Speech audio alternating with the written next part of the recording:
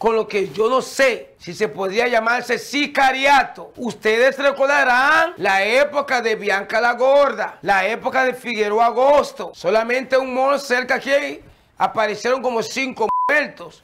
Luego a Bianca la Gorda la mata en la francesa. Luego aparecen cinco cadáveres quemados en Baní por un tumbe de droga. Pero yo estoy, yo estoy peligroso. ¿Será que volvimos al tiempo de Figueroa Agosto?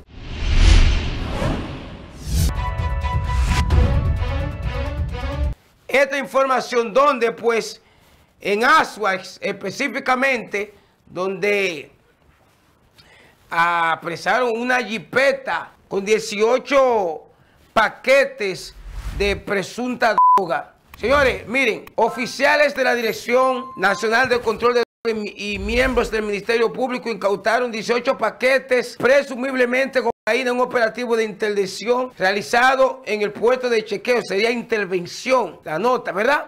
Los agentes antinarcóticos, apoyados por miembros de agencias de inteligencia de las Fuerzas Armadas y del Ejército de República Dominicana, interceptaron a los ocupantes de una jipeta que intentaron burlar los controles de las autoridades en el referido puesto de chequeo. Posteriormente, en presencia pues de un fiscal adjunto, se procedió a inspeccionar el vehículo, ocupando eh, pues camuflados en las puertas, en el lugar donde están las puertas, los 18 paquetes de sustancia con peso de 20 kilogramos. Obviamente, eso es más que un chivateo.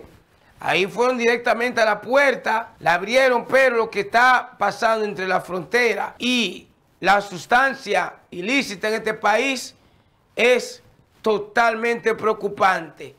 Ya le habían montado inteligencia a esa jipeta, parece ser que ya la tenían chequeada, ahí es donde la dirección, junto con miembros de las Fuerzas Armadas del Ejército de la República Dominicana, pues logra incautar esos 19 paquetes. Ahí como ustedes pueden ver, fueron interceptados. Como también, importante decir, yo no sé si hablar de sicariato o no en la República Dominicana, pero por ejemplo, sabemos lo que pasó en Mr. Grill, donde el propietario de la discoteca La Santa y otras personas más salieron, lo tirotearon.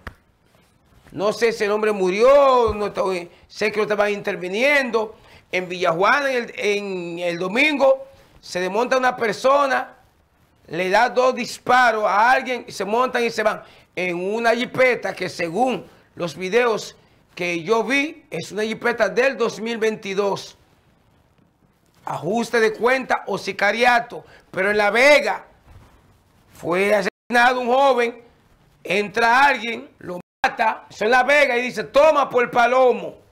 Oigan eso. Entonces, yo no sé qué es lo que está pasando en la República Dominicana, como en ese mismo caso que está en su pantalla, donde el joven que respondía el nombre de Jesús Manuel Rodríguez, le apodaban Tata, 30 años de edad aproximadamente, residía en la calle principal de Capilla, perteneciente a La Canela. Oigan eso, según informaciones obtenidas por nuestro amigo y hermano Máximo Peralta, este manifestó que mientras se encontraba enfrente de su residencia, se presentaron cuatro personas y que salieron corriendo donde le realizaron un disparo que le impactó en el femur, en el femur izquierdo. ¿eh? Y se dice hasta el momento que era ajuste de cuenta. Yo voy a reiterar con ese caso que ustedes ven ahí y con el, y con el recuento que yo lo he hecho, este caso de este joven, conocido mejor como la Tata, los cinco que le dije en la semana que, que empieza y en la que concluyó, la República Dominicana tiene que dar pie con bola ante la delincuencia. Pero eso no es delincuencia. Incluso al joven que mataron en La Vega le dejaron hasta dinero que tenía y prenda. al de Villajuana. Se dice que esa jipeta estaba pasando hace algunos días. Entonces, habría que saber con quién este señor tuvo una disputa, cuáles son o eran sus pasos para determinar qué es lo que está pasando en la República Dominicana, con lo que yo no sé si se podría llamarse sicariato. Ustedes recordarán la época de Bianca la Gorda, la época de Figueroa Agosto. Solamente un mono cerca aquí aparecieron como cinco muertos. Luego a Bianca la Gorda la matan en la francesa. Luego aparecen cinco cadáveres quemados en Baní por un tumbe de droga. Luego dos en San Cristóbal. Entonces yo creo, como yo hago un periodismo diferente y no me, y no me enrolo solamente en que el Banco Central, que la gripe, que Fiona, muy importante. Pero yo estoy, yo estoy peligroso. ¿Será que volvimos al tiempo de Figueroa Agosto? Que ha sido el único tiempo que más muerte ha habido. Ay, sin decirle los coroneles, los mayores, que también fueron asesinados durante Figueroa Agosto. Pues en la República Dominicana estamos viendo algo, algo igual. Reitero, más de 10 muertos de manera extrañas, donde dejan sus pertenencias, donde dice, toma por palomo, por traicionero, no vendiste. Eso es cada vez que matan a alguien, dejan una frase. Muy lamentable, muy lamentable. Y ojalá las autoridades den pie con bola para que le explique al país. Con un país con muchos problemas, porque mira lo que pasó ahí. En, Punta Cana, en el aeropuerto internacional de Punta Cana, donde a una mujer le pusieron droga porque le cambiaron las maletas que ya tú no puedes confiar ni en el contra que está ahí al lado de ti, que los labels o la etiqueta que se le colocan a tu maleta para reconocerla, el que está ahí te duplica dos identidades. Y, y de esas dos identidades se la ponen a dos maletas que traen cocaína. Este país está mal.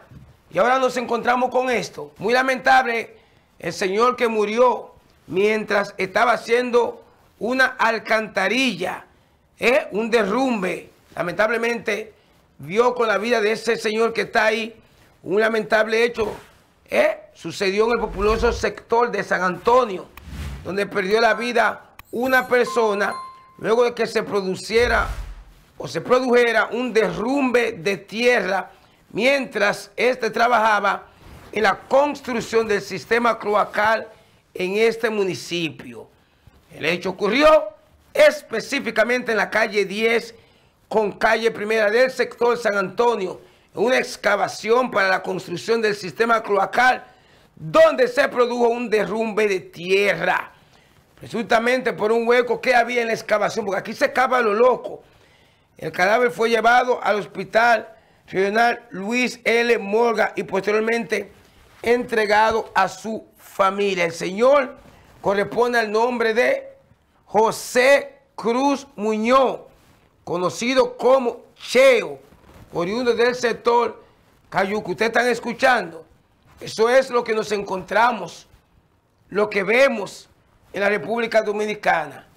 Vamos a trabajando un hoyo cloacal para una alcantarilla.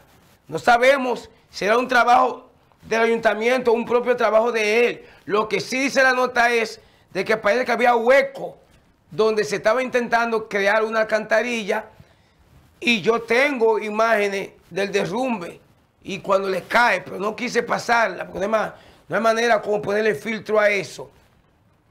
Lo que le duele a uno es que un hombre honrado y trabajador como el señor José Cruz Muñoz muera tratándose de ganar el pan de cada día mientras ratas andan quitándole la vida a las personas. Yo no digo nada, pero a veces la vida se puede hacer hasta injusta.